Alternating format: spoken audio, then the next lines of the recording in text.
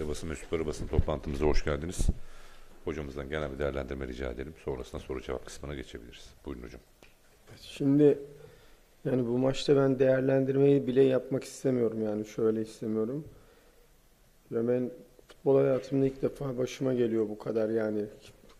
Bize göre Antalya şey Alanya takımı e, bizi yendiğine kabullenemiyorum. Şöyle kabullenemiyorum. Ya bu kadar pas hatası yapılmaz yani bireysel hata yapılmaz yani baktığınız zaman inanılmaz şekilde bireysel hatalar yaptık ve onların hepsi de bize gol oldu. İkinci yarıya çok iyi başladık. Gayet iyi başladık.